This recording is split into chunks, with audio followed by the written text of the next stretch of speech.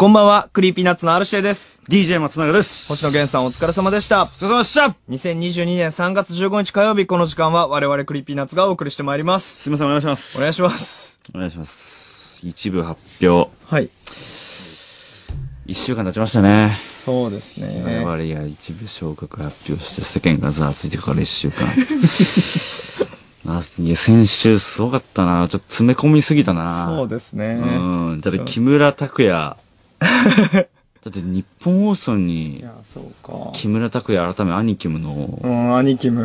ベシャリが乗るなんてことは、そうね本当なかったんだから。うん。本当に歴史的な出来事。その後に、で、ししかもにうん。200回放送。はいはい。200回記念。うん。まさか4年もやらせてもらえないと思わなかった。で,、からの昇格発表ですうよ。ん。嘘みたいな、こう、密度の濃さ。確かに。詰め込みすぎたな。詰め込みすぎて、なんか、詰め込みすぎて、うん。なんか、あのーなんとか鳴らすために一応大江戸シーラー最後に。いやいや。なんか、これガーって言ったらなんか、なんかあの、毎週と違うから。そうやな。そうやな。じゃあ一回、ちょっと一回、シラフに戻して、あの、大江戸であるある読んで。あっちがシラフが。あっちがシラフなんあ、や、まあ、ね。大江戸ですか。あれは飛んでるか。いや、だからまあ大江戸シーラー、で飛んでる。なんなんやろな。うん。一応だからその、えー現実のすごいことが多すぎて、焦らんためにちょっと脳を飛ばすというか、そうだねトリップさせて、その、最後、の心を。そう最後よ、毎週やってる違法薬物。そうそう、最後に危ないやつをして。危ないやつをして、いやで、元に戻元の、元の世界に戻って戻っきて、てくるで、今日ですよ。ね。で、なん、そう、2部、ね、さ、一部昇格すっげえ嬉しいんだけどさ、二2部も残り3回なんですよ。そうです、ってことは、このスタジオ、このブースで喋るのも残り3回ですか？え、ってことは、ブース移動で、星野さんがいつも使ってるブースのとこに行くってことですか？ってことか。そうか、昨日須田さんのとこ出たけど、そこのブースのそとこでやるってことか。あ、なんかそう考えてちょっとなんか寂しくもなるね。寂しいですね。うんだって、え、ミクちゃんもなくなる、すか？一部って。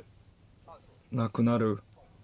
と思う。と思う。なるほどな。いや、そうだよね。だからみんなとこう、なんか先、先週、なんか指ハートで間繋いだりしたら、あれ夢かな？あれ夢。あれ、あ、いや、そんなことしてないしてない夢？ななんかわかんないい。けど、なんか、あの、うんそう、タイムフリーズにはバレないね。なんかあの、そうそうそうそうわかんないけど、ミクちゃん見てる人にだけは伝わる、なんか、指ハートとか、ウインクとウイかン、クとかしたをしたような、記憶があるんだよ。うん。ララジコで聞いてる人は絶対わかんない。あ、ラジオで聞いてる人そはわかうそうそうんそう、ないんだけどわかん。けど。途中指ハートとかすごいしたけど、一部ではね、やらなくていいわけだもんね。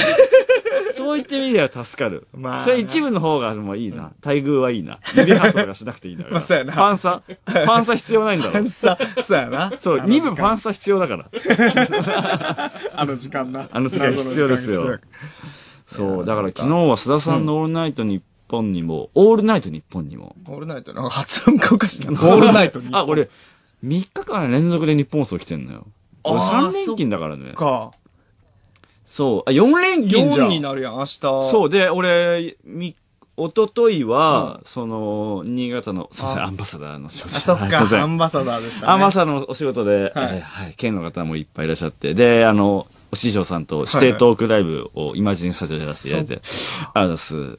すいません記者会見して、囲み取材やって、ありがとうございます。すごいな。あのすその次に、で、須田さん出て、で、で、今日やって、で、明日記者会見でしょ？4か、すごいね。ねえ、社員じゃん。もう、そうやな。そんぐ社員、ね、待遇、なんかあの、な休みの多い、週3休みの、うん。っていう、確かに定期作りましょうか。そんぐらい来てるもん。そんぐらい来てんのか。そう、だから昨日は須田さんのオールナイトニッポン出させていただいて、うん。で、3月いっぱいで、うん。月曜一部をそうやね。須田さんが卒飛業。ぶ、飛ぶんじゃない、卒業。いや嫌になっちゃって。嫌になっちゃってじゃん、あ。だ違う違う違う。行きたくない。普通に、なんていうかな。その俳優業俳優業に力を入れるために卒業今は飛ばないけど、か3 月末で飛びます。予告飛び。予告飛びな。3月末で飛びますうん。よう夜勤、夜勤きついな夜勤、夜勤、いや、もうほんと夜勤だよ、こーれ。ちゃんと夜勤だよ。ついな夜勤きついんだよ。家族と時間が合わないから。うん。夜勤だと。しかも俳優業って朝早い。朝早いんだよな。基本朝早いから。いや4年よくや、よく飛ばなかった。すごいよな。よくやったほんまによ。須田さん、飛んだ須田さんのケツを吹くために、我々クリーピーナッツが。えー、4月にそこに入るという、その、ものものの引き継ぎ。そうやね。そう、飛ぶ、飛ぶ飛ぶという予告飛びなんで、引き継ぎば作業ができるんですよど。。うん、卒業やねんけどな。何喋ったか覚えてないんだよな。それ、全然全然覚えてない。しえーす、えーっとね。なんか、台本上の流れは綺麗だったんだよ。確か。あ、そうそう。台本にはなんか全部やるべきことが書いてあった書いてあっ。て、で、最後さん、なんか、うん日曜日に下流したりとか、そのサンタラ作った、そう。須田さんと一緒に我々がやってる曲をちゃんと間に流して最後ササンタントラ流して終わったけど、台本上は。なんか、なんかマジで内容覚えてるんだよな。何だったか覚えてないんだよな、マジで。間。間。相田修二？間さん。間さん。マジで無関係な人間相田さんのマジ話で無関係な人間の話してた。相田さんの話。マジで無関係な話した。相田さん、そう、で、しかも途中でスポンサーコーナー入って、うんで、一回出て、うん。で、エンディングに戻ってくるでしょ？うん。うん、でそれはね、よくある。それ自体はよくあることですよね。うんでもエンディングで、いや、今日エンディングまでお越しいただいてました。クリップナッツのお二人です。で、で、えーっと、で、来週は米津玄師、すぐ来ます。うわあざしたー あれ何だったの？あれいや、そうやね。あれその何だったの？あ俺、のーあれ何だったの？いや、だから最後の最後、おあのー、何か？あれ出る意味あったあれ？え、全くない。え、もう俺ら何にも、俺らなんか、あわあわしたまんま、ほぼほぼ、何も喋らずにほぼ1分間。で、じゃあ台本上は最後サントラかけて終わるっていう、めっちゃ綺麗な流れだった綺麗な状態やっでて。最後告知、呼ばれて、なんか、俺らの関係ねえ告知の話聞いて、なんか終わってた。サンドラサンドラあげないのって言いながらなんかフェードアウトしてたらしい。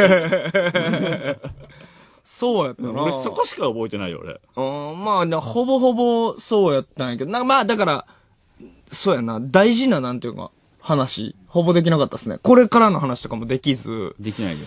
なんか、何の話した？いやな、R は何の話したか覚えてる？ええー、シュージマン、死神の服、大捜査、もうだからやったことを全部もう一回話して。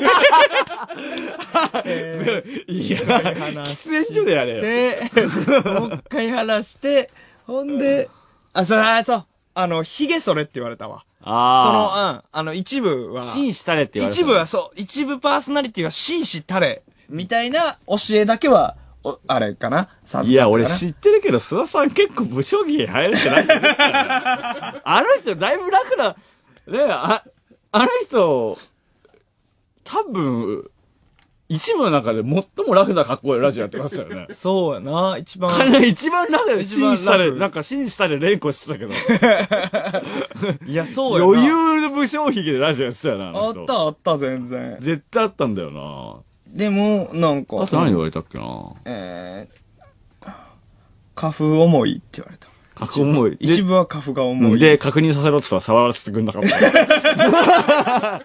ちゃうねん、ちゃうねんとか言ってて。俺触らせろよとか言ったら、ちゃうねん、ちゃうね。そうな。あと、あれかなその、須田さんのその写真あれがずっと5年間。ああ、洗剤でしょ？洗剤が5年間。オールナイトニッポンのマイク前写真とかでそう。洗剤が。あれだが5年。って俺ら毎年撮ってるけどさそ、須田さんだけなんかあの、5年間ずっと。5年間ずっと一緒。なんか、うんそう。そうでパネル、しかも後ろにさ、パネルに、そうや50周年が5年前の情報が。今5年前のお祝いが背中に書いてあってな。ね、だから間違った情報を。ほんで、どの役でも見たことない髪型。どの映画、どのドラ、どこのやつ？誰の、どどのこの時？時見たことない、この髪型の須田さん。な、じゃあ告知するとき一応さ、うん。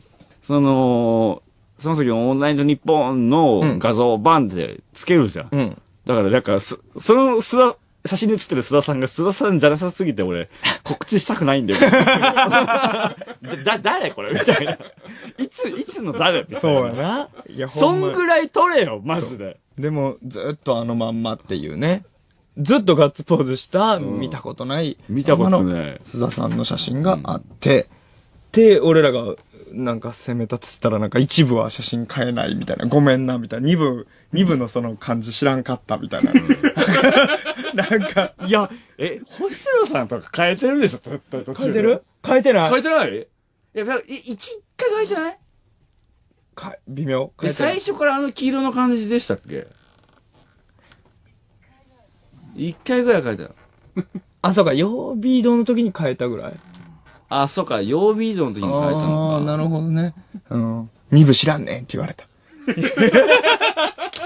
下積みねえんだよな。いやいや、強すぎてもうな、俺らも。なんもや、それ言われたらなんも言えない。もうほんまに。なんも言えない一瞬で吹き飛んだね、俺らが。いや、なんも言えない。だって俺、無名で R からやってるからね。そうやね。無名で R4 回やってからね、いや俺だからもう、生え抜きの生え抜き。めちゃくちゃストリート。知ってるか？ストリ最悪だよあっちのニューヨークのストリートのラッパーが毎年自分の誕生日来るたびに生き延びたって言って神に感謝すんねんけど、へー俺らのマイク前写真はやっぱ毎年それやったん 確かに。今年も生き延びた神に感謝。神に感謝。そうやっぱなんかこう、どんどんたくましくなってくる。詳しくなっていその生き延びていってるから。そうだねやっぱジョン、ね、アップデートされていってますよね。ね、服装も髪型、なんとなく見た感じもね、変わっていきましたから。で、そうだ、しかも、で、明日記者会見なんですよ。そうやわ。4連勤。しかも、先週さ、記者会見やってたでしょ、うんうんうん。ゼロの記者会見やってたでしょ、うん。よかった、俺、あそこの記者会見じゃなくて。おじさんしかいなかったよ、あれ。マジで。いや、あれ、いや、じゃみあれ、YouTube に上がってるから見てみ。あれ、去年の記者会見の再放送だから。で、三四郎行って、マジラブ行って、佐久間さんいるのマジで再放送だから。本当に。いや、お前、なに、な、なにこれと思って。もう見たことあんだろ、これ。留、なんか、留年組でやる。いやいやいやいや。記者会見な。な、なん、なに、おの、で、来て、か記者は集まったものの、なんか、な、何、何の発表なの？だって、だって、変わんない奴らが集まって何の発表してんの？あれ、必要あんのかっていうさ。そっか全員同じだよ。だって、そで、月火がクロスしてんの。あ、クロスが、あ、なるほどあシュワちゃんと、フワちゃんが、えー、二分になって。はいはいはいはいはい。え？で、ペそう、ペコ。パが、そうだ、そうだ、ペコパもいたのか。そうかそうか。だから、ペコパがここ、ペコパさんあペコパさんがここになる。なるっていうね。え、なんか、おがましいな、急にい。や、そうよなん。か急に、なんかペコ、え、ペコパさん 俺らが一部行って、ペコパさんが二部なの？え、これって周り認認めてるんですか？大丈夫大丈夫これってま、え、なんか、ふざけんなって思ってる人いない？これ。いやいや、なんか、急になんか、そうやんな。不安になってきたんだけど。ドキドキしてきた、なんか。ドキドキしてきたんだけど。まあでも、オールナイト、ね、その、R から、0から1部という。いや、すごいよね。本当にさ、こんなことになると思ってなかった？いや、マジで思ってなかったな。マジで、ストリートから這い上がってきた感じするよね。ストリートやストリートから這い上がってきた感じ。這い上がってきた感じすんな。あのさ、その、ゼロ、あ、R の単発で1回目のやつの頃に教えてよな。お前ら一部行くよって。いやそう嘘嘘。いやいやだって福田さん、だって初めて、ロッカフェで打ち合わせした時を初めましてでしょ？あの時一部行くやつだと思わなかったでしょ 絶対どこの馬の骨骨がでしょどこので単発の誰だよっていう。やねん、その。いや、変な案でしょ？ほんまに絶対そう思ったよ。し絶かも対そうやな、うんそう、とりあえずやるからでしょ？とりあえずやるから。で、しかも、だるいのが中途半端なラジオ好きなやつが来るやつ。でうわー、そそうそうやな。そうやな。ラジオ好きのやつが、うわなんか観光気分でやってきたやつ うわ、の。うわすげえ、これ、ここがとか言ってなんる。か、チーム、なんか、えチーム付き合いけないんだとか言いながらやってるやつの、とは全く、こう、また別の、ね、なんか持ち場の作家の人が、はいはいとか言いながらやりながら、どんと、どこの馬の骨かと思っただろうな、みんな。な。な。でもさ、インディー、インディーもインディーとか、もうど、ど、ドインディーどドインディー？そっかそう、やったそう、ね。だから、そう、助演出したした後、だから俺らも、俺ら自体、もうマジでちゃんと、あのー、アーティストとしてもインディーやったし。ちょクソインディーで、あの、だ、本当オールナイト日本 R 単発をやらせてもらえるようなレベルですらなかった。そうですね。そっからこうだからすごいっすよね。ロッカフェも潰れてね。ほんまや、ほんまや。そういや、ねそう六階にカフェがあって、通称ロッカフェがあって、あの時はロッカフェでなんかの飲み物頼みながらなんか打ち合わせしたけど、ロッカフェ自体が潰れたからね。うんで、タバコ吸えなくなってね。お世話になって。やっぱね、ミックスゾーンになってね、会社の名前もね。まあ、なんだっけ、ミックスゾーンの名前。そう、サウンドマンがミックスゾーンになってね。いろいろ、いろいろ変わったね。ねそっか。ね、その、ミキサーの卓もデジデジタクですか？か綺麗になりましたね。なんかチャンネル数いっぱいあるけど全部使わねえだろ、それ。絶対使わねえだろ、それ。うんうんうんってうなずいてるだってマイクい、マイク今2本しかないんだよ。うなずいてはるわ。チャンネル。いやー、感慨深いね。感慨深いですね。でも本当紳士たれということだけは忘れる。まあそこだけはね。んまあまあまあさすがになんていうの？その、大幅な変更はできないんですけど、一応ね、髭も、まあできる範囲ではね。うん。本本当か？ほんできああの、昨日より武将感増してる。それはまあまだ2部やから。まだ2部だから。そう。うん最後の武将を楽しんでるというか。最後の武将。もうほんまなんか、このモラトリアム期間。モラトリアム期間かそうそう、まだ、最後の。そう、最後のなるほどね。髭を遊ばせで、る。だからまあまあいい感じで俺は見て楽しめばいいんだ。武将をね。武将を。そうそうそうそうで。4月からピッと整えてくるわけ。うん。そ俺の範囲。あ間間があったな。俺の範囲内。間があったな。俺の範囲内じゃねえよ俺の範囲内だお前の範囲内ってどこだよ。で、ここ、ここどうすんの？そのさ、あのー、あの、顎のヒゲあんじゃん。うん顎のヒゲと上唇のヒゲ、うん。つなげんの？つなげないの？いや、つな、いや、どうやろうミス。ターサタン。ミスターサタン。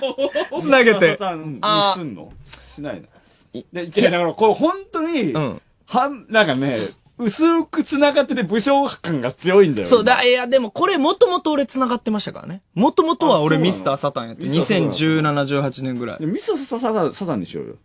え、ちゃう、で、俺ミスターサタンやってん。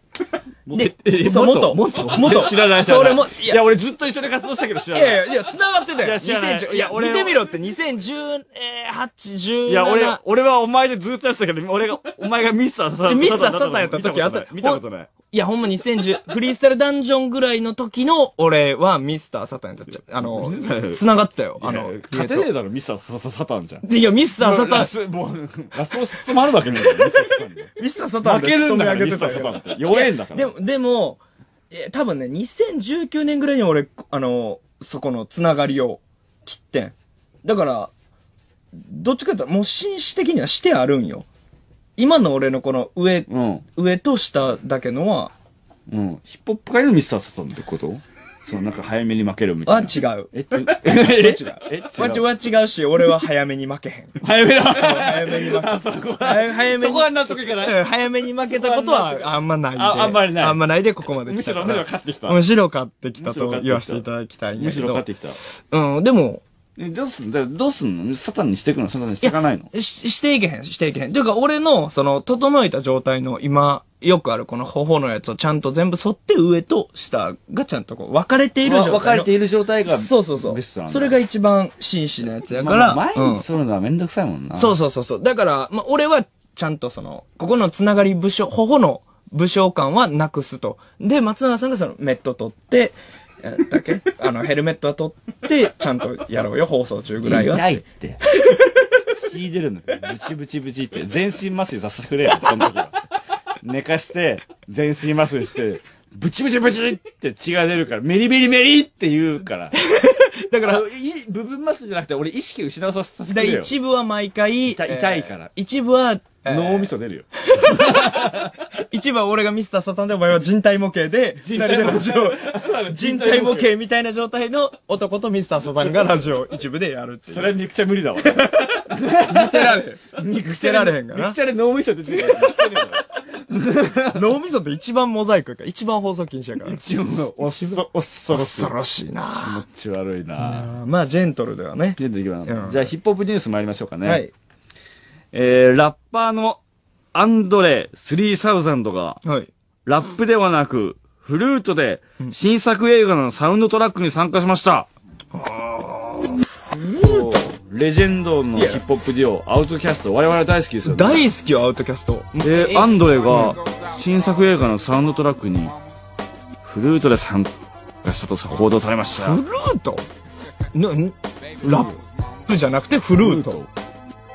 いや、いや、アンドレってラップがうめえんじゃん。じゃあアンドレなんか、天才じゃん。天才やし、今、ヒップホップは結構もうほぼ南が主主流やんか。うんでも、うんそのサウスのあのトラップとかできる前の南のヒップホップといえばアウトキャストで、うんしかも、なんていうかな、リリックもエグい上に、まあ言うたらフロー、ラップの乗せ方とかも、メロディーの使い方とかも、今これね、聞こえてる、えーミス・ジャクソンとかも、もうとにかく、なんか、ラップさせりゃ、もう天下一品な、ピンだよね。ていうかもう誰も真似できへんね。しかもメロとかもね。そうなんです声も超特徴的だし、ね、なんか本当になんか誰も真似できないスタイルというか。影響を受けた人めちゃくちゃ多いというか今のねラッパーが、それがフルート。フルート？なんで？なんかどうやら、んあのー、アンドレ、インタビューで以前ね、うんうん音楽制作への興味を失いました。と心境を明かしてからほぼ音楽リリースしてなかったんです。そうなんすよあ、それしてたの？これ知ってんすよ。これのインタビューは俺もめっちゃアンドレ好きやからとかアウトキャスト好きやから、このインタビューってすごいまああーっとなんかいろいろ言ってたんやけどまあなんかな、ななんで？ええっとねやり尽くし的な？やり尽くしたってのもあるし、ん。まあ多分まあ言い方も結構まああっちはストレートに言うからなんか、俺はもう自分のメロディーにうんざりしてるみたいな。へうん、ー。なんか今俺を熱くするのはラップではないしなるほど。俺は25の時、30歳のラッパーになりたくねえと思ってた。今42歳の俺は、えー。今42歳の俺は50歳のラッパーになりたくないとより強く思うみたいなことをインタビューで言ってて、えー。だからなんかそういうまああと、うん、なそういう音楽に対するモチベーションみたいな今は完全にないみたいな。そうなんでだ。音楽というかラップ。ラップに対するあれが。っラップに対する興味がもう。て言っててうえーマジそうなんだ。マジか。ーってなったの覚えてる、へえなんかでも、あんな天才が言いそうだな。いいそう天才は天才が言いそうな言葉だわ、なんか。で、まあそういう心境を明かしてから実際リリースしてなかったんですけども、で、アンドレが映画のサウンドトラックで参加したらしいと、こういうニュースが一斉に報じられて、これはもうアウトキャストファンたち、うわーってぶち上がったら。あの、あれを言ったアンドレが、やっと、なんかわからんけど、なんか戻ってきたんや。映画のサウンド参加したーよっしゃったらなんか、フルートバイアンドレ。おいしょ おい、アンドレいや、イライラ、お前のフルート。演奏シーンとかもないよ。なんか、録音物サウのンドトラックやろな。そうやなじ。ゃあ、あの、プロの、しかもプロのフルート奏者が演奏してるやつよね、ちょっと下手だ。おそらくな。おそらく下手な。下手な。あれ実はアンドレラシーを吹いてんの、あのちょっと下手なフルートみたいな。もう、意味ないから、それ。意味だだって無、無意味だから。ほんまに、えー、最後のアルバム2006年とかちゃうかな、アウトキャストとしての。そっから、そっかラップするっつったら、でも、結構フランク・オーシャンとか、結構その大物の若手のニューアルバムに、そのバースだけ参加してる。あ客演はやってたりしたのかあれ、カニエの新しいやつにもバース受けてたような気すん。あ嘘確か。で、そういうのがあるたびにみんな、お久しぶりにアンドレのラップがってなったから、ちょっとなフルです。どうですかいやもう本当にもう、国民的なさ、例えば安室奈美恵さんとかがさ、もう引退した時なんかさ、もう日本中に激震化したじゃん。明日ね。ね、で、安室奈美恵が復活ぞってニュースがバーって一斉に報じられてさ、もう日本中が。急にピューってリコーダー吹き出した。で、しかも、あの、人前に出ないの。ああ、なんかあの、あの曲のなんか、プーって笛、なんか、油の見らしい。そうないや、歌って踊ってほしいな、ぜひ。安室ちゃんにはで。しょ？あの楽器実はみたいな。うん。あのトランペット実はみたいな。なるほどな。あのドラム実はみたいな。だからもう実は。実は、実は実はあの曲、みたいな。まあ、そっか。しかもな、しかも下手な。プロより下手な。ちょ、ちょっと微妙に。全部プロより下手な。ちょっと、なんか、別にしかもそれ、文脈あっても別にもしかしたらテンション上がらんかも。例えばその、あややが、あややが復活します。で、その復活の仕方が、さハロプロの新しいアイドルの楽曲の中に入ってるトランペットを実はあややが吹いてます。でも別にテンション上がらへん。あーおーうん。なんかもう熱狂的なファンがちょっとだけ胸熱になるけど、その参加の仕方かって、ちょっともや、逆にもやもや。ちょっとそうそうやな。うん。歌詞書くとかならいいじゃん。そう、わかる。歌詞書くんやったらね、なんか、うんいやいいのよ。フルート弾くが一番俺嫌かも。数ある選択肢の中で。うん一番。うん。じゃあ、ふピーショロロ。アンドフルート一番嫌かもな。うーん。フルート、細、細いな。細いしな。なんか、そフのルート、だって、いや、俺がパソコンに入れれるよ。フルートぐらい。まあまあまあまあ、まあ、ピーやな。ショロロで。パソコン、いけるよ。いけちゃうもんな。しん、うん、い、いけちゃう、うん。ソフトシンセで P やいけ、いけるよ。アンドレである必要がないのよ。アンドレのさ、ラアンドレ味というか、アンドレのラップのアンドレの感じっていうのが全く出ないじゃないよな、多分、フルートやと。無、無関係だわ。アンドレのリリシズム、アンドレのフロー、アンドレの声質は全くフルートには出ないから、だしかも出たとしてもクソ邪魔だしね。そうやな、逆になさ、邪魔やな、うんアンドレっぽさが出りゃ出るほど。ちょっとそっか。で、しかも、どうやら、アンドレはなんか、す、もうフルートに傾倒しちゃってるみたいで、じゃあ数年前から、どうやらあの、まあ、いろんなちょっと目撃情報ですか？はいはい。数年前から路上や空港、はたまたオープンマイクなど様々な場所でゲリラ的にフルートを演奏しているところがたびたび目撃されている。な、何をしてんの？急に路上とか駅前。しかも新宿駅の前。で、こう、通り過ぎ、ああ、やってるかって通り過ぎようと思ったら、あれ、アンドレ、アンド、アンドレやアンドレやアンドレだ。アンドレアンドレだ。で、アンドレぐらい顔割れてたらさ、やっぱみんな、期待しちゃうよな。その吹いてたらさ。いやとはいえ、しかもアンドレなんか昔からその奇抜な格好、ラそうだねッパーがやらんようなファッションとか、で、ラッパーがやらんような楽曲、ヘイヤーとかもほとんど歌の曲とかやってたから、うんサウンドもね。まそうそうそう、そんぐらいは、まあ、フルート吹くぐらいはやるかんで、フルートや、あ、一通り吹いた後に、往年の、まあ、名曲一曲ぐらいやってくれるんでしょって待ってたらフルートだけ吹いて終わる。フルート、フルートカバンにしまって帰る。別に、なんか、フフルートで武道館へみたいなのが書いてあって。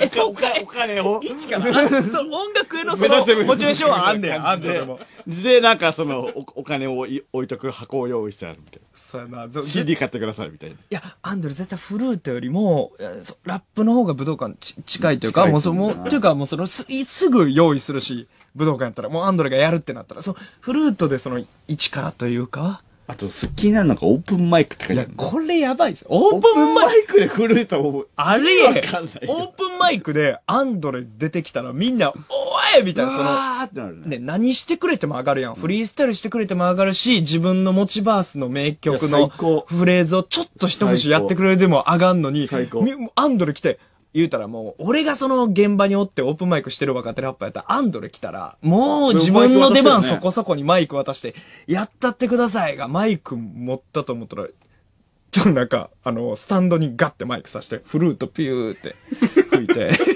うわークラブ、クラブにフルート持ち込むね。そうやな。ちょっとな、ちょっとなんか、うんちょっとな。ちょっと、どう、どうしちゃったんだろうな。なんなんやろな、でも今はそのモード、なんか。フルートで食えてんの？フルート、フルートで、フルート一本で食えんのかな？食フルート一本で食ってんのかってんのかな？相方は出してるじゃん、曲。なそう、相方結構コンスタントに出してる出してんるですよね。し、しかもヒットしたりしてるし。そうし、そうえーオールナイトとかね。そうそうそうそうヒットしたりしてる楽曲があったりするからな。うん、そうなの。まあいいか、フルート奏者にしとくか、アンドレ。うん、なんか、いいか。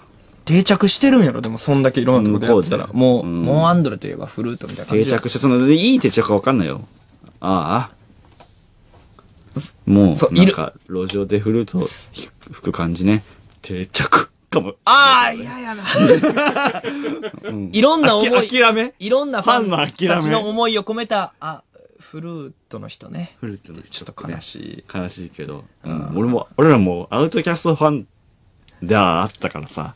フジロックの時見とけよかったな、アウトキャスいや、トのライブ本当はね、俺らがフジロック出た時さ、その年もアウトキャスト出てたんだよね。そうなんですよ。でも最終日だったから、なんか、俺らちょっと、フジロックのさ、その、アウトドア感に大切れず、途中で帰っちゃったんだよな。そう、もうしんどすぎて、なんかもう暑かったし、眠かったしで、まあ最後はアウトキャストやけど、まあいっかって帰ったんやけど、あれを逃した結果、俺たち今後フルートしか見られへん。フルートしか見られない。ねもう一回フジロック来たとしても、フルートで来んフルートで、いややわ。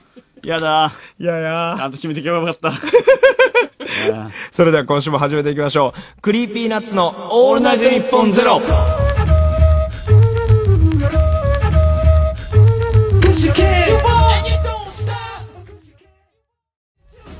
改めまして、こんばんは、 Creepy Nuts の R-指定です。DJ 松永です。この時間は我々 Creepy Nuts がお送りしてまいります。ますじゃあ生放送ですのでメールを募集しましょう。番組聞いての感想は我々の質問何でもいいので送ってください。受付メールアドレスはクリーピーの C とナッツの N を取って CN アットマークオールナイトニッポンドットコム CN アットマークオールナイトニッポンドットコムまでお願いします。ということで Creepy Nuts のオールナイトニッポンゼロぜひ最後までお付き合いください。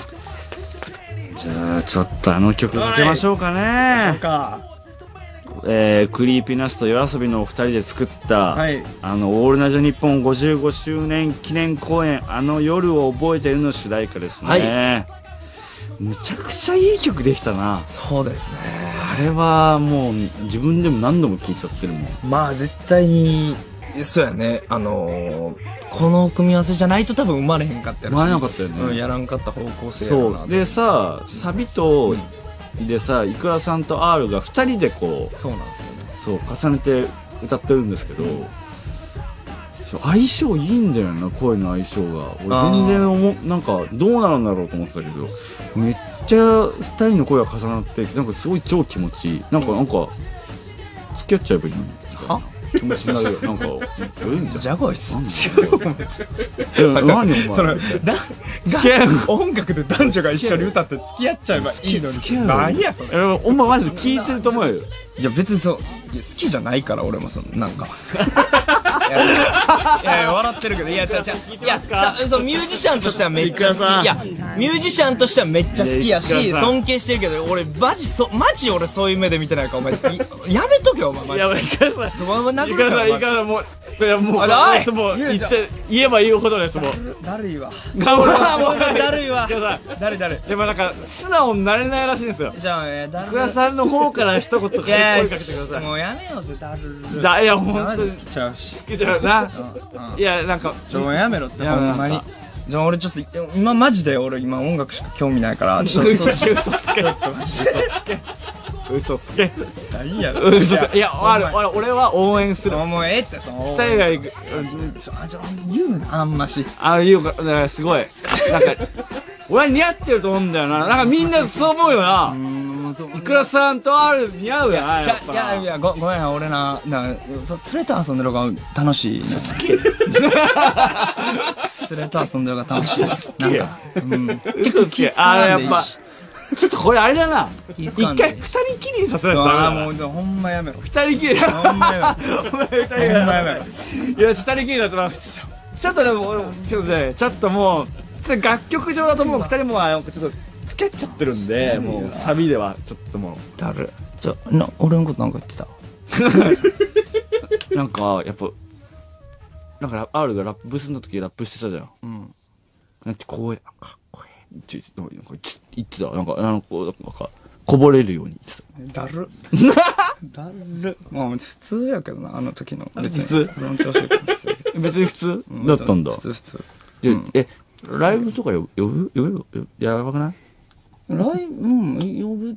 うん。ライブとか呼ぶ。うん。まあそれで来たかったら別に。うん。いいが。いいんちゃう？来たよ、来たかった。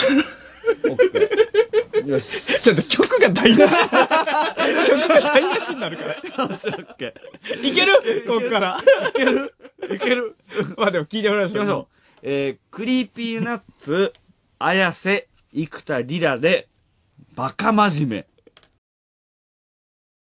お送りしたのは、クリーピーナッツ、綾瀬、生田リラで、バカ真面目でした。さて、この番組はスマートフォンアプリのミクチャでも東京千代田区有楽町ニッポン放送第3スタジオのライブ映像とともに同時生配信でお届けしています。さらに放送終了後にはミクチャ限定のアフタートークも生配信。ミクチャのアプリをダウンロードしてオールナイトニッポンゼロのアカウントをフォローするだけで誰でも簡単に無料で見られます。番組ホームページにミクチャへのリンクが貼ってありますので、そこからでもダウンロードできます。オールナイトニッポンゼロぜひミクチャでもお楽しみください。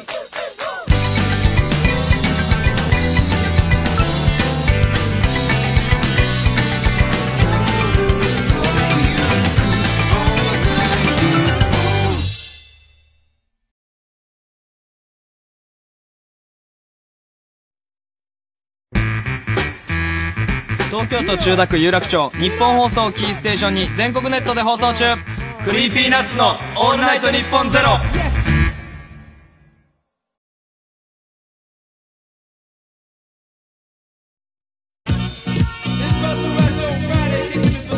俺なつくづく思うねんやんか。何を？ラジオとヒップホップって同じやねんな。概念として。なるほど。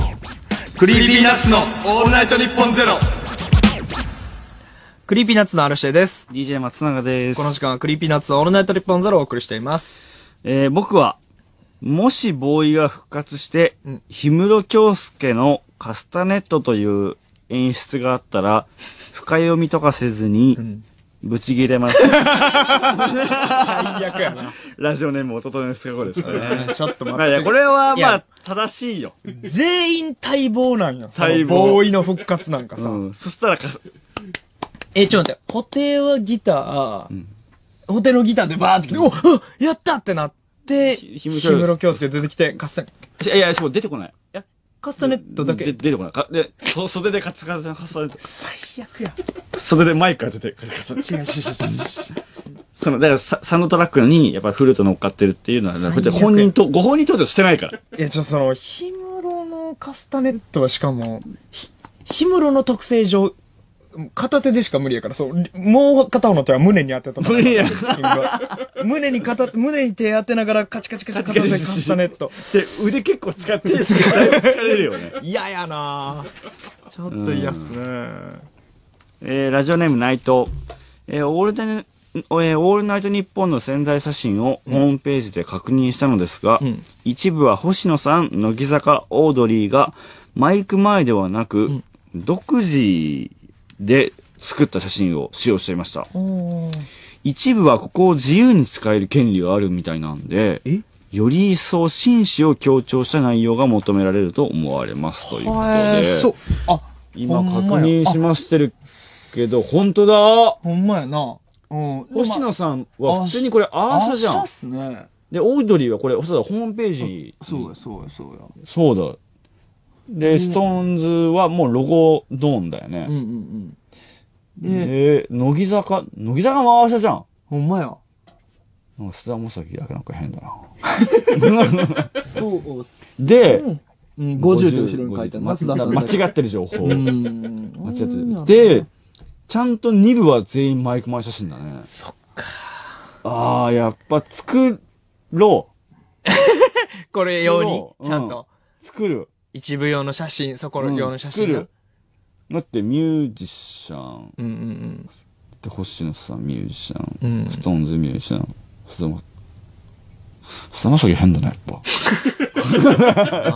一番変、な一番変なんだけど。一番何の人か分からへん。何の人かわかんない一。番何者なんか分からへん。え、なんか、ここのガッツポーズもなんか、なんだろうな、あんま成し遂げてないやつのガッツポーズなんだよな。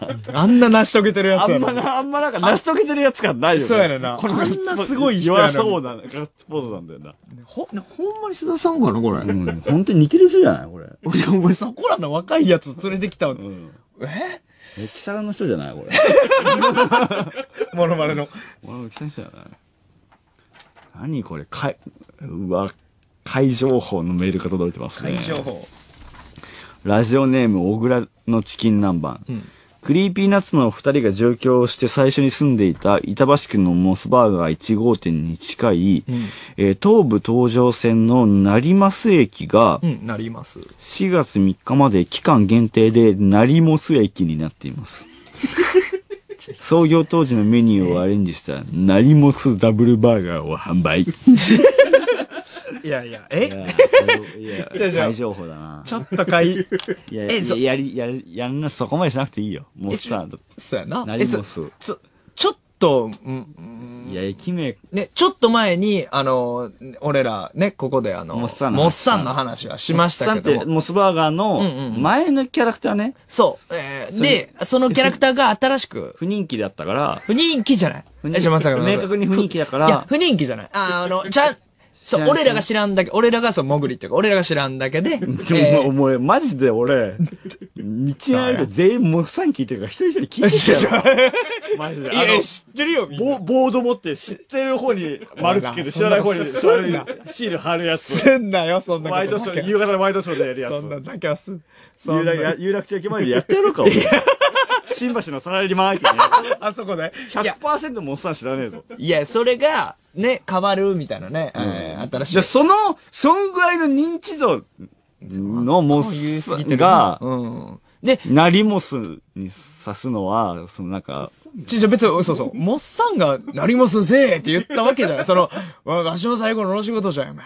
なります、お前、なりますしたらんかいって、モッサンが、その、なんで関西弁なんだよ言ったんじゃない最後まで。そんとら、あの、若い衆に肩越されて俺が黙ってると思ってたから、モスボーやかなんか知らんけど、あんなもんに、んお前、モスバーガーのモッサン言われたら、チーター知られた男ぞ。お前、最後のお仕事じゃん、おれ駅名書いたらんかい、なりますに。そんな、そんな、そんなむちゃくちゃなことしてへんか、モ俺ッサン。それは知らん。え、モッサンそっちだどういう経緯なのじゃあ？いや、いや、だから、最後に、だから、あの、モス駅側の配慮？駅側というか、そう、モスバーガー側が、まあ、最後に頑張ってくれたモスさんにプレ、プレゼントじゃないか、なんかちょっと、まあ、最後、一個、えキャンペーンみたいなんで、まあ、ちょっと遊びましょうや、みたいな感じちゃうか、駅名。そう、だって、じゃあ、じゃあ、俺、俺、ちょっと俺、最寄り駅の住人だったら、俺なんか、聞いてた話と違うっつって、不動産屋に勝ち込むんだよ。俺、何もす駅に引く？いやいやいやいや。いや、だからモス、モス、モス名の周年かな？モスの周年か、いやなんかそのちょっと、ま、あ、モス50周年。あ、それはで、も嫌だって。だって、例えばさ、その、まあ、合コンみたいなこととか、あとマッチングアプリとかで女性に会って、最寄り駅どこですか？何モスです？どこ住んですか？何モス？何モス？で、あっち側も、なんかその、だ、ダジャレかな？とか思ってなんか、わらみたいなの送ってきて。なんかいやいや、違うんです、違うんです。今、なんかその、モス、なんかモスバーガーの、みたいな説明せなあか説明え当に、い、い、な、期間どんぐらいでしたっけ？どんぐらいなりモスになるの？4月3日まで。だから結構なりますよ。結構なりモスやな。え、結構なりモスやな。え、ちょっと待って、え、それは、え、その、え、駅の看板とかもなりモスにするってこと？やば。よかっえ、なってる？よかった、なります住んでなくて。え、ちょ、ちょっと待って。じゃあ、あん時に、例えば、俺、松永さんが上板住んでて、俺もそこ上がり込んでる時期に、あの、東武東上線乗って、松永さん家帰ろうと思ったら、なんか終着駅っていうか、その、なります、ねなります終着。マジか。しなります。漢字どう書くのかな？なり、え、ほんまや。え、モスはカタカナ？なります。なそこに書いてなりますあ、ひらがなで。ひらがなでなりモス。もモス、モス、往年のボビーオロゴンじゃねえんだから。そうやな。から、からくりテレビなりモスモス。もうそんなな、そんな、何をしな、こう、いや、これはあの、マジで、成増駅の住人が全員ピンとこないと思うよ。そうやな絶対に。絶対にピンとこない。いやー、でも、でも、でも、でも、や、やだよ、俺もう駅員だったら、何もす、何もすんです、みたいな。いや、でもやっ、ぱ、なんていうの、1号店近いっていう、やっぱゆかりの土地やからみんな嬉しいんちゃう？そのさ、うん、みんなでみんなで。気づいてるかな、住人。その、んあと、モスバーガーどれだけ注目？いや、モスバーガーが、なんか動かそう言ったら、そりゃもう、街ぐるみで協力よ。なりますもん。行く行く？行く行く行く、なります。と、うん。自分たちが中心だと思いすぎてない？うんうん、全然全然全然。なんか自分たちがえ、え、中心で4月、回りすぎて。4月までか。今引っ越しても間に合えんか。い いやいや、モス好きよ。モス好きはみんな。え、何橋に引っ越すの？いや、だから悩んでる、その上京してきたモスバー、モスバーガー食いたくて上京してくるやつもいっぱいおるから、その、上京してきたやつとかも、その、成モスって駅があるって言ったらもう、そ、即決やけどな。じゃあさ、今の期間さ、成増駅に引っ越したいんですけどってさ、その、不動産屋にいたら、は？って言われるってことだよね。ないもんだって今。成増。あと、ひかない。あと、その乗り換え検索で調べても、成増出てこない。成増。しょうもないや。最高や、成モス。じゃあ、じゃあさ、あれあれなえ、ちょっと、で、だから、成マスに行こうとしてるやつが、うんな、そう、成マスで待ち合わせって言って、で、このキャンペーン知らんやつが、成マス駅着いて、パッて降りたら、ひらがなで成モスって書いてその、こ異世界？その、木更木駅みたいな怖い。え？タヌキに化かされたみたいな。もう2ちゃんでそこすれたあ今ちょっと知らん駅につい、木更木駅みたいな異世界に着いたんやけど、なんか、モスバー、質問あるみたいうん、その、あれ？ぜ、なんかひらがなで、俺はなりますについたはずやねんけど、ひらがなで、なんかなりもすって書いてある駅なんやけど、みんな知ってるって言ったら肩パンパン叩かれて振り返ったらもうさ。興奮は興奮はな。りもす駅ようこそ。なりもすようこそ。引っ越そうかな。楽しそう。やめろ超楽しそう。やめろって。通勤めんどくせえと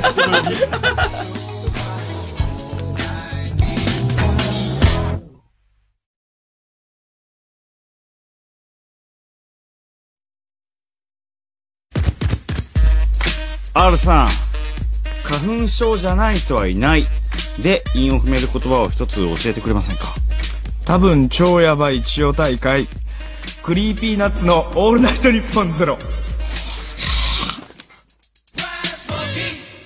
Creepy Nuts の R-指定です。DJ 松永です。あの、俺結構その、高い買い物を最近しまして、え、珍しいね。そう、結構珍しいんですけど。なんかあんま物買わないイメージあるよね、あなた。そうなんですよ。あんま買わへんし、ねえうんまあ使うとしても、なんとか、そのいっぺんにバッ使うことほぼほぼないんですけど、ねえーっとね、ソファー買ったんですよ、ソファー。あ、ソファーね。そうなんで、というのも、でかい買い物だね。そうなんですよね。俺、その作業部屋で、俺もやっぱ松永さんのこと言えなくて、俺もほぼ作業部屋で過ごすんですよ。あーリビング使わない系。そうそうそうそう。もう曲、なるよね曲を作る作業部屋、うんで、そこは俺の家の中で、その、そこだけは、えー、喫煙可能、んえーなんだか、テレビも一番そこにでかいの置いてあるし、えーそこにもパソコンも、マイクも全部置いてあるみたいな。ワンルームじゃん、それ。いや、ちゃう。ワンルーム、ワンルーム、ワンルームアパートに住むよ。そこだけ切り取るとな？いや、ワンルームに引っ越すよ。でもちゃんとリビングも寝室もあんねん。だから俺、あ、あんだけお前のこと変人って言ってたけど、全然わかんない。お前が変だよ全然気持ちわかんないあ。いや、お前、なりますのワンルーム引っ越せよ。安いぞ、お前。そうやな。だいぶ、安いよ。だいぶ熱いなそそれで済むじゃねえいや、でなりもすな。今そのなりますって言ってたから。綺麗なごめんごめん、そこだけはごめん。ごめんごめんそこだけ。そそこだけほんまにおマジか、おマジか、お前。もうなりもす。なります今、マジ？3日、4月3日まではえ社員さん？社員さんなの？そそこまでは頼む。社員、社員さんなの？すいません、ごめんなさい。じゃあほんでごめんなさい、そう、買ったんですけど、んその、俺やっぱ作業部屋にずっとおるから、その、なんていうの、まあ、その、曲作ったり歌詞書いたりとかもソファーでしたり、まあ、もうちょっとちゃんとした、えー椅子で、えーや、やったりとかそう、作業用の椅子でやったりするんですけど、ソファーも大きさとかもね。そうなんですよ。で、結局俺やっぱそ、その、なんていうの、す制作ガッと入ってる時ってなんかこの、パンとや、やめれない。そう、切り上げて、じゃあお風呂入ねお風呂入って、じゃあベッド入って寝ましょうみたいなことがやっぱ、その、曲作り集中してたりとか、こう浮かぶまでの時間って俺なかなかできなくてわ。かる。で、しかも一回入ってきてさ、うん。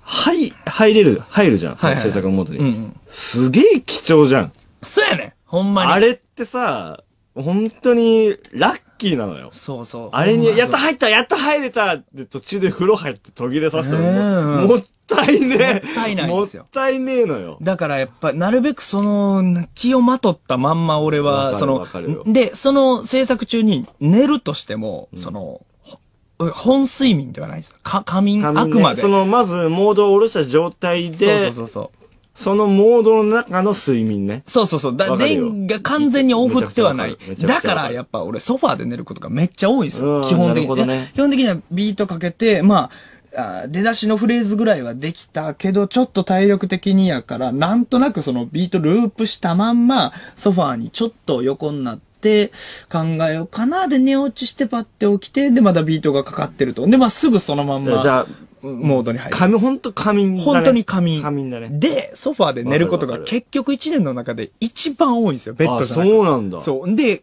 体バキバキなるとで、今までのソファーやったらちっちゃかったから。だから、ちょっともう、デカめのソファーをもう買って作業部屋に置こうと思って。おーいいじゃん。で、えーいろいろ探したんですけど、うんなんかもうほとんどで、その、えーそこ探したのちょっと前です。届いたのが最近なんですけど。ソファー届くまでちょっと時間かかるよね。めっちゃ時間が、だから去年なんですよね、探してたの。で、うんわかるわかる。探していろいろその、あの、家具屋さんの店員さんとかに言ったのは、そのソファーで、その寝ることがめっちゃ多いんですと。ああ、それを相談したんだもうもうちゃんと言ったんですよ。うんで、寝ちゃってバキバキで起きることが多くて、じゃあソファーでも、あの、一応か仮眠ですよ。仮眠やけど、ソファーで、その、がっつり、その、体痛くならないやつないですか？みたいなことを俺相まあ談。まあ本睡眠死にかかって いやいやいや、いや、あくまで、ふうに聞こいや、える。違う違う、まずさ、青本睡眠じゃなくてさ、がっつり仮眠。いや、それ本睡眠だいや、違う違う違う、がっつりがっつ仮眠。り仮眠って言葉はないんだよ。違う違う違う、あのー、がっつり仮眠って言葉はない。じゃ仮眠は、違う違う違う。がっつりなんですよ。別に、ベッド帰って。いや、違う違う、違う。ベッドは、ベッド帰って。ベッドやったら本睡眠やから、ベッド帰って。本睡眠になっちゃうから、ベッド、いや、で、でで、いや、いやいや、ベッド買うと本睡眠になる。んで、何買おうとしてたんだっけ？えがっつりー、仮眠。がっつり仮眠できできる？ベッドぐらいの大きさのソファー。ベッド帰って。あベッベッド帰って。違う違うベッドはベッド、いや、違くない？ベッド帰って。あの、だからこれは本睡眠との明らかな違いが、掛け布団もなしうん、枕もなしん。猫横になるだけ。で、まだ仮眠なんですよ。これに枕つけて、ん掛け布団なんあ、かお、オッケー。ね寝てるやんわかった。うん、それベッドでもできる。違う違う。いや、枕使わなくて使わないから。ベッドあ、は、それベッドできる。ベッドはそ、なんていうの？ベッドは何、何、何？言ってみ？ベッベッドは何？言ってみ？ベッドは、ベッドは何だ？言ってみ？座られへんやん。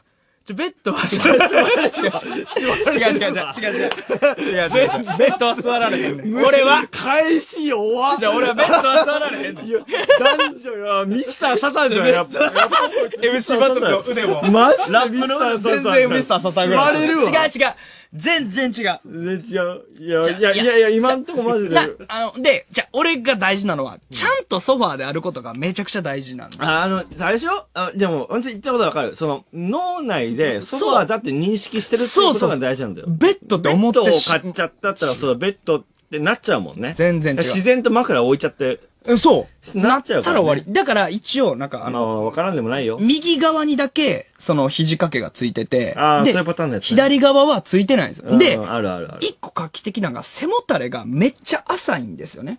で、背もたれが浅いから、バーンって置いても、結構なでかさやねんけど、部屋の空間を圧迫してないから、部屋は広いまま。で、俺、まあ、そこまで画期的じゃあじゃねえけど。、じゃあ背もたれどうすんのってなったら よ、よくそうあるけど取り外しできる、なんか後ろにこのかませみたいなのがついてあるクッションみたいなのが2個ついてあるから、それの置き方次第で、えー自分の気持ち、えー座り方、あの、安定できる寝方をな。そもうカスタムできるんだ。う、できるという。素晴らしい商品じゃない。で、その、えーその、なんていうの、このクッションをう、クッションについてるかませを、こう、上目に引っ張って、うん。こっちの肘掛けのない方の、うん。えーソファーの端にん。ガチッと引っ掛けたら、そしたら、頭を、枕じゃないで、頭を置けるスペースみたいなのができまて、それ枕な。いや、枕じゃないんやけどあそれ、枕な。枕まではいかんねんけど、頭を置ける枕な。スペスペースみたいなのが、枕な。その、あのベッドでできるソファー買ったな、お前。で、みたいな感じで、前お前ベッドは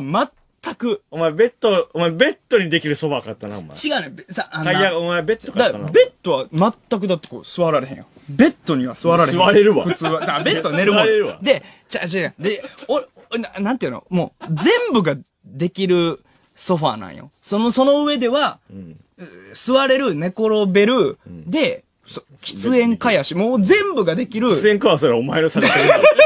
関係ねえだろ。で、やった、とはいえね、やっぱその、とはいえなんだよ。材質。お前、なんか、なんかさ、お前が今、とはいえとか言うの、すっげえおかしくないなんか、どの口がとはいえって言うとはいえ、その、ソファーの材質で、ソファーすぎると、なんか、いあのーえ、ごめん、ごめん、何？ソファーの材質でソファーすぎるとって何あのね ちょっと、あのよ、よ、意味、意味わかんない表現入あってくるの、いや、あっち側も座り、ど、どういうわかんない。座りだけを支 ソファーえる。すぎる。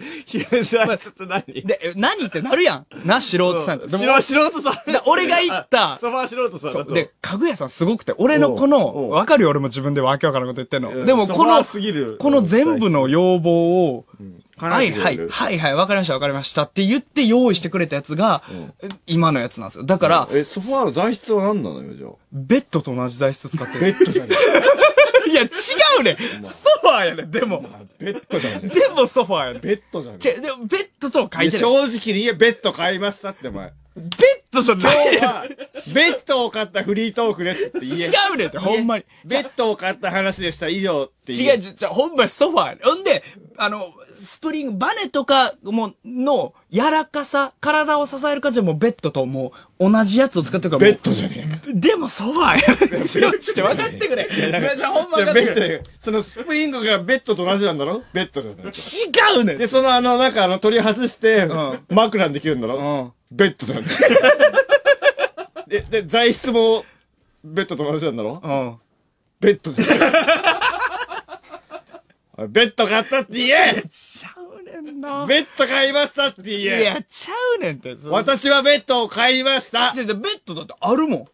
ベッドあんのにベッド買うやつ頭おかしい。バカじゃん。バカいやいや、ババカじゃない。カだよ。バカなわけないよ、俺が。今、ベッド家2個 バカお前バカバカじゃん。しかも、それを何ヶ月間も入荷するまで待ってたの。待ってた。バカじゃないのでもな、やっぱりソファーやね、座ったら。ちゃんとソファーやね。めっちゃソファーやね。その座り心地とか。座るとな。そうそうそう、んな硬さ具合とかも、めっちゃソファーやねソファーなんだ。そう。え、で、で、で、カスタムすると？ベッドやね。ベッドあ、ベッドじゃない。違う違うでも、ベお前、本当に。ソファーベッドじゃないねん。でもマジでベッ。ドはほん、いや、ふざけんな、まベッド2個買ったやつが、ただの。意味不明です。全然違う。入ってるじゃん、お前。それほぼソファーやね。うるせえ。うるせえ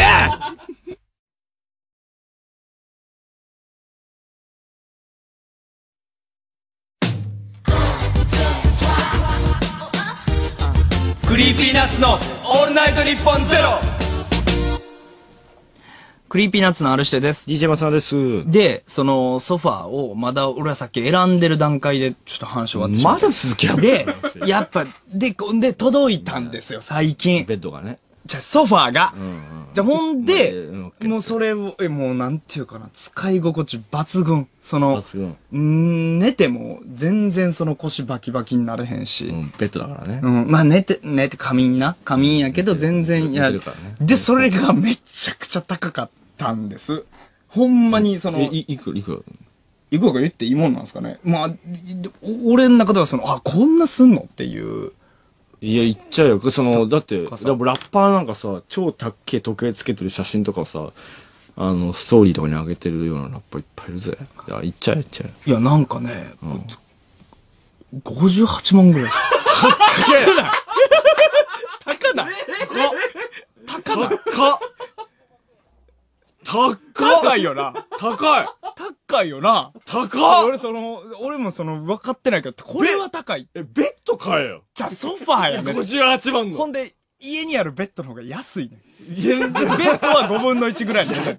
今俺が持ってるベッドは。いや、おかしいおかしい。なんか、なんかすごいおかしい。え、おかしい、すごいおかしい。なんか、一番なんか、変なことになってきがする。なんか、一番いい睡眠も取れないし、一番、一番いい仮眠も取れない状況になってる気がする。本睡眠の質も悪い。で、仮眠もできない。なんか一番こうダメな状況になってる気がするぞ。でもめちゃくちゃいい。やっぱり。それはいいだろ、58もう万だから。桁違いに。桁違いだろ？うん。でも前の目的とそれてるぞ。いやだまず、でも本睡眠取っちゃってるよ、今あなた。いや、でもやっぱりな、そうそう、仮眠やねんな。その、仮眠やねん。そう、ちゃん、やっぱちゃんと仮眠ではあるけど、腰がバキバキになれへうん体がちゃんと休まった仮眠やね。で、58万。いや、仮眠にしたら高い。いや、だから、だって、松田さん持ってるソファーは、そそんなせえへんやつじゃない？ど、どう？そんぐらい？いや、まあ、まあ、俺もう、まあな、富裕層に片足突っ込んでるからな。それ何やその言う え、松田さんソファー、もう、でも、今、2、30ぐらいか。まあ、そう、うん、ちょっとな、まだやっぱその、俺のやつ使ったらわかるから、俺の言ってる意味が。あ、なるほど、これかと、ソファーやのに、なる、こだからでい40や、俺いらないもん。から上がラインやねん。え？な、40から上がライン知らない、聞いたことない、聞いたことない。で、俺、そのソファーに、なんかその、なんか、ベッドになる機能とか、必要ないもん。ベッドになるき、これ、これ俺めっちゃ大事だから、めっちゃ言っても店員さんに、お、ソファーベッドじゃないんです。ソファーでお願いします。みたいな。なんかソファーベッドじゃないの。で別にガタンって倒してベッドにできるとかじゃない。そのまんまのソファーに、そのまんま寝転んで寝れるで、やつやね。ソファーベッドい。や、違う違う違う違う違う。ね、違うね。ソファーベッドじゃない。違うねんな。いや、それをソファーベッドって言うんだ。ちょっと待って、だから、50の世界来たらわかるわ。その50、いやわかんねえ50ソファーの世界に来たいやわかんねえわか俺の言ってる意味がおろすいやわなかんねえるほど。いや、わからん。な、な、ボラれてんのかお前なんか、そっか、そっか、バカさ、なんか、分かってない。全変、然変な話してるぞ、お前変な話じゃないおい変な、本当にあんのか、そのソファあるよー。58万で。あるよ本当に？あるよ。もう、もうええよ。その名前もアムステルダムっていう名前のソファーやね。だからもうその、ほんまにあんねん、実バカみたいなマンションみたいな。バカなマンションみたいな名前。アムステル。青か？アムステルダム。アムステルダムや。マジで？うん、ほんまに。いや、なんか、ぜ、え、それでさ、え、ほ、あの、仮眠じゃなくて本睡眠したことある、はないねないんだ。うんえ、もう寝ようで、それ、しっかりこうそこでもう寝ちゃおうって寝たことはないの？ん。はないな。なんかそうせんようにはしてる。なんかその、しちゃダメなの？うん、したら、ベッドよりすっごいこう眠れる。そうなったら怖いから、その事実に。そうなるとその事実に気づくと思そうよなると、え、マックス何時間寝た？そこ、そこのソファーに。マックス？んは、マックス、まあでも、8。本睡眠。本睡眠。ちゃうね。ある種本睡眠。違うある種本睡眠それ。違う。違う。それベッド、ベッドの上での本睡眠。あれ58万、58万のベッドを買って本睡眠した話を聞きました。あれそれ本睡眠。仮眠じゃない。あ、もうスイッチ切れてるから。せっかく入れたのに。8も寝りゃ。8も8も寝りゃもう8さら地に戻るか。8も寝りゃ。うん。あ、お前ちょっと、そ、ソファ屋でうだうだやってる時間も、何だったんだよ。ちょっと、ちょ、でも、そう、いいの買いすぎたわ、とは思ってる。そうんの、や、やりすぎた、やりすぎたと。やりすぎだな。思ってる。やりすぎだ。仮眠用で58万だよ。そんなわけない。すごくない？そんなわけない。だって俺の、その俺の不眠症を解消するために、オーダーメイドのんエアウィーヴのむちゃくちゃいい、あのーマットレスを買ったんだけど、それより高いよ。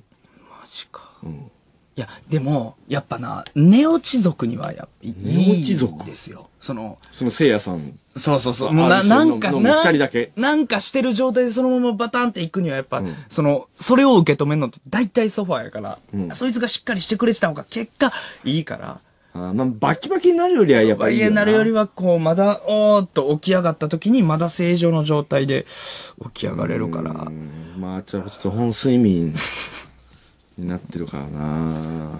そのスイッチがな、一回切れてる。それだから、リビングにも置きたいぐらい、なんか作業部屋に、え？作業部屋に置いてるから。リビングリビングと寝室の、あの、家具のやつらに、そのなんか、かっこつかへんとか、申し訳立てん。その、作業部屋の一番部屋の中で狭い作業部屋に、ね、その、一番ええのが、一番いいのがドツドンとドーンって置いてあって。で、本来はリビングに一番大きい。ソファーにうん。一番大きいテレビがあるのが普通だろ、やけど、俺の作業部屋に一番大きいソファと一番大きいテレビがある。うん。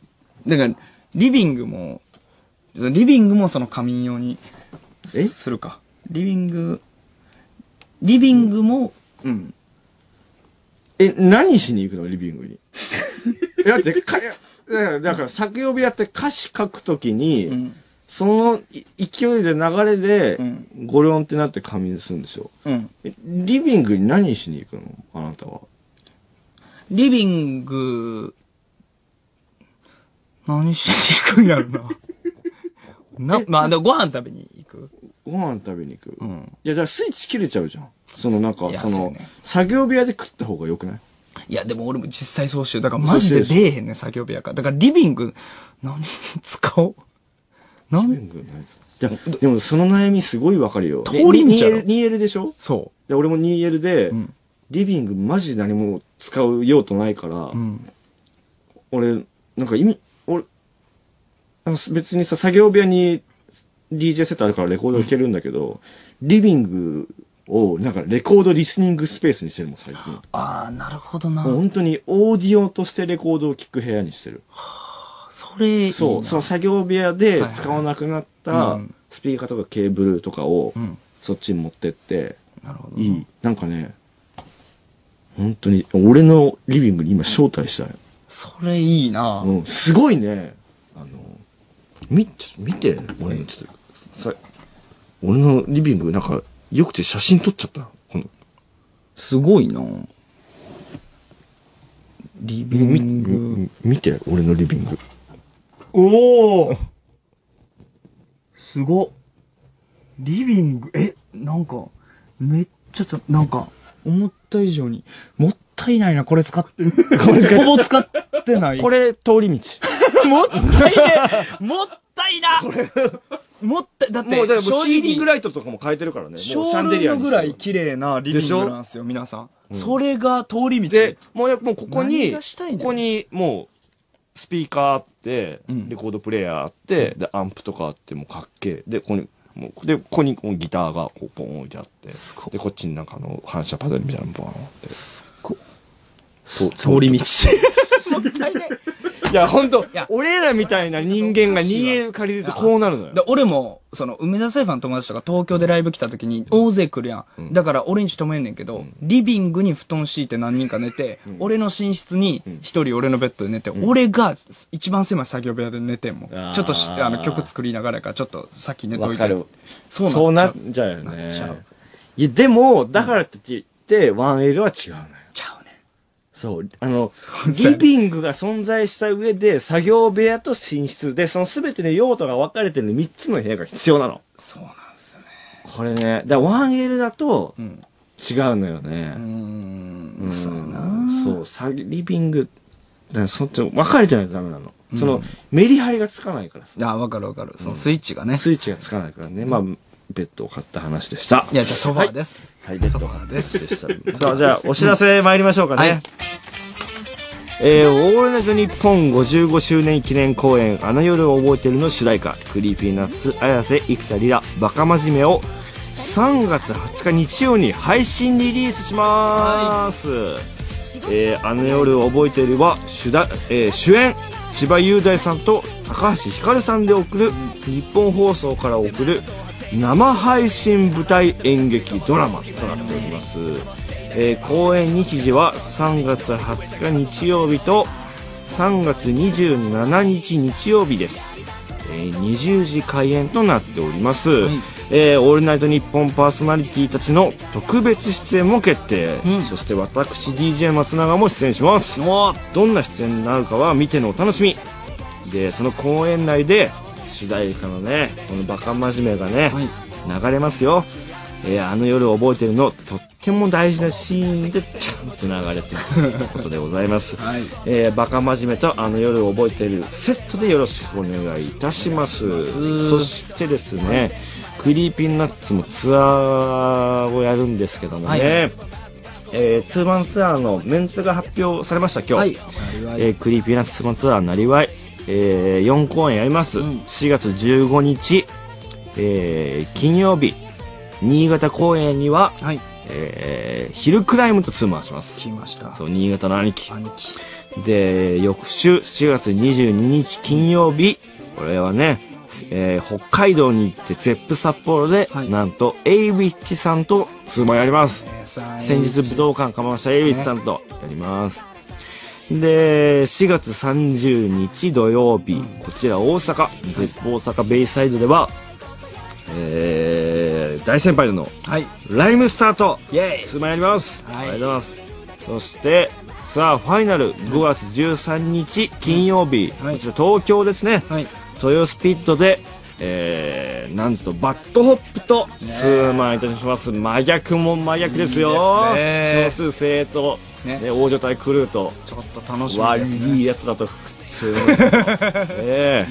いいいいですね楽しみですよ、ん。で Creepy Nutsの楽曲「パッと咲いて散って灰に」こちらね高校選抜のはい。テーマ曲でございますけれども、こちらも配信リリース中でございますので、はい。もうガシガシ聞いてもらって、こちらのね、傑作です。あと、まだみんなに聞かせてない傑作もあります。傑作もあるな。あー、出来たてのあれな。出来たての、あれな。あれやばかったっすね。あれひっくり返るか世間あれはやばいひっくり返るまだひっくり返すか。何やねんこれ。あるから。あれはいいよ。はい、皆さん、いろいろ楽しみにしててください。お願いいたします。はい。じゃあ、ここで一曲聴いてください。はいえあ、あじゃあ、ある曲？じゃあ、日本、あ、じゃあ、日本語ラップ紹介しますかー、えあ、あ、もう、え、お、え、あ、ほんまや、時間が？こやばえ、俺、え、マジで？俺今、今から、そのパッド咲いて散って肺に流してから、俺、大井戸行く、大井戸行く予定だった、俺。ちょっと、もう、あ、松田さん、もうあれやん。大変だけ2時間でやってるやん。もう一、ちょっとこいつ気が早い。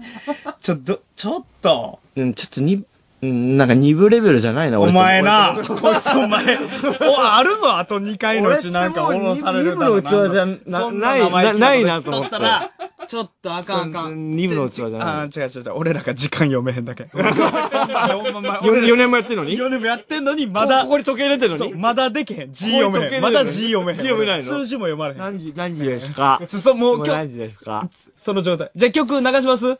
うん。何流すの？えっ、とね、ちょっとだいぶね、ラップ紹介できてなかったんで、えっとね、いやー梅田サイファーのふぁんくさんがね、そう、もう梅田サイファーはちょっと今抜けたんですけど、ふぁんくさんがソロでちょっとアルバム出して、バランスというアルバムを出しまして、これがまたね、来てる？来てる。職人。もういい。あの、こんなスムースやのに、まあ、やっぱね、梅田の、とか、まあ、ふぁんくさんすごいわ。やっぱその、 ZORNさんになるんよ。硬い韻踏もうとしたら、大体、今っぽいビートでやろうとした全員が。そこを、やっぱファンクさんなってる人よく見るもん。見るやろ。うん。ゾ、ゾーンさん。俺、ちょっと今、そのゾーンさんになってるなっていう有名なラッパーの名前を今ここまで出かけてる。ダメダメダメ。でも、いや、わかるよ。わかるけど、でも、ファンクさんはね、そこが、いやーその、こんだけしかもね、長い韻もね、まだ踏まれてない、そんな踏み方あんのっていうようなやつ。まあとりあえず、ねそうなんですよ。ちょっとまあ、細かいとこまた後で言うんで、MV にもなってる曲を聴いてもらおうと思います。ふえー、アルバムバランスからファンクで、ザレ言。というね、このザレ言なんですけど、ん。まあ、サビなんかもね、最高ですけど、バースで言うと、えっ、とね、俺は教祖でもなけりゃ、立派な学校の教師でもない、ただの調子者、見たままこの通りで、いあああおおいっていう音がずっと続くんですよね。えー、堕落した日常に力がもっと欲しいと救いをこうならよ、その方がちったまともな教えもあるんじゃね？みたいなね、その、単語とかね、あの、体言止めだけで踏むってわけじゃなくて、文章の間に、その、韻が隠れてる。で、その、大きな立派な学校の教師から始まった韻をずーっとやっていくんやから、その間にも、えー、ただの調子者とか、堕落した日常にとか、救いをこうならよ、その方が、みたいな別のね、韻を挟んでいってるから、わざとらしく、ただの、おスラッとしたスムースな文章に聞こえるんやけど、お紐解いたら、A, B, B, A, A, A, A, みたいなすごい踏み方を。職人さん。超職人。職人。職人なんで、その後とかも、えー、いや、えー、何か役立つ教訓の類はここにはない。いや、あるかも。それは見てのお楽しみ、ピエロの顔した切れ者遊び人っていう、この見てのお楽しみ、ピエロの顔した切れ者遊び人っていうう。わーお。で、真意確かめな再生ボタンが覗きやんな。そのその前にあるきっとここにはないというところが、またここにいいんで帰ってくるというね。うこんなことやり出したら止まらんぐらいの全、全曲そうなってるようなアルバム。韻ってこうやんっていうぐらいの。すごいね。すごいね。あどんだけ難しいパズルなんそれマジ難しい。なんなの？でもさらっと聴けるというふぁんくさん。すごいねよ。むしろそれのおかげでさーっと弾ける。そうそうなってんだよねそうなんですよね。ピースが多いからこそ。